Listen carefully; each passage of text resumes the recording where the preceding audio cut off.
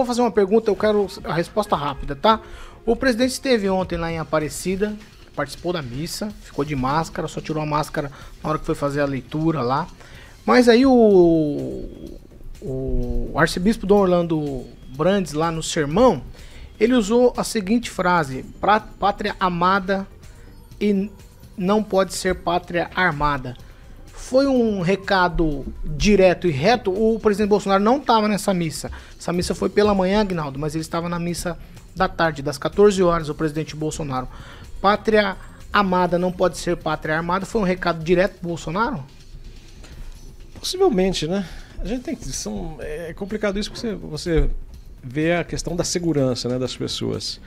Quando um cidadão de bem é, é acuado por um assaltante e às vezes esse cidadão de bem está armado e mata o vagabundo, a gente tem que comemorar, né? Tem que parabenizar e, e, e aí vem os comentários de que, olha, se não tivesse armado, é, a vítima poderia ser, ter sido cidadão de bem.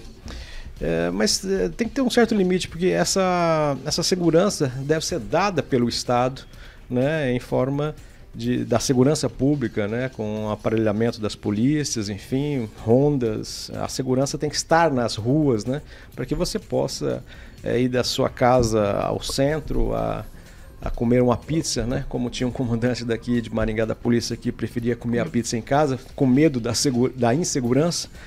É, esse, esse é o poder do Estado. Né? Então o Estado poderia estar aparelhado, né? exército e as polícias. Mas o recado foi dado. A igreja tem um viés é, a, é, a católica, mas a, é, oposicionista ao governo que aí está. Ah, ah, rapidamente, é, foi um recado para o governo Bolsonaro? Então, Paulo, é só esqueceram de avisar o bispo, né? Que o narcotráfico tá aí super armado, matando muita gente, né, no Brasil. É bonitinho o discurso dele, é fofinho, é religioso, né? Eu até entendo a postura dele, mas virar as costas falar assim: ai, o Brasil não pode ser armado, pelo amor de Deus qualquer, qualquer, infelizmente, periferia aí que você vai no país, você tem PCC presente, Comando Vermelho. Aqui em Maringá, quantas vezes a polícia civil faz apreensões, fala que, ah, fulano de tal tem ligação com o PCC. Então, não sei o que que passa na cabeça, assim, dessa, dessa militância do paz e amor, que acha que a gente não a gente não precisa de armamentos, que a gente não precisa de polícia, né? Tipo, Gregório do Vivier. Eu sou a favor, sim, de armar a população que é capaz de estar armada, porque a gente sabe que tem uma série de critérios a serem seguidos, inclusive avaliações psicológicas, cursos, preparações.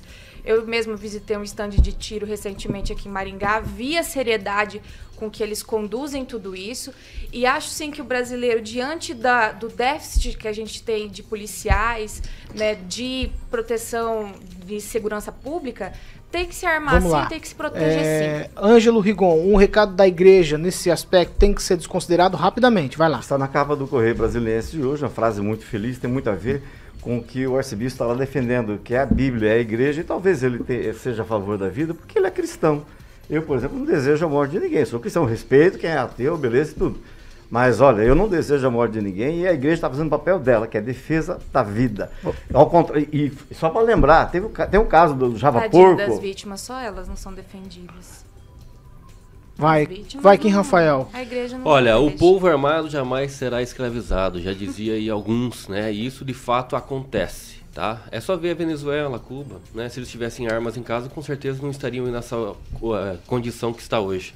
Uma coisa não anula outra coisa. A questão de feijão na mesa, não ter feijão ou alimentação é uma outra questão. Agora, você fazer com que a comparação de que não pode ter arma porque você não tem feijão e, e vice-versa, eu acho que esse discurso do arcebispo, com todo respeito, eu acho que ele É deve- deveria, deveria, inclusive, não, eu tô me referindo a ele ter feito esse discurso aí Ah, tá. de, de que né, é melhor Não, não um foi um discurso, outro. não, foi na, na mensagem. Homilia, Na mensagem, tá, o sermão. Então eu acredito que ele poderia ir na periferia e pregar pro comando Neto, vermelho. rapidamente,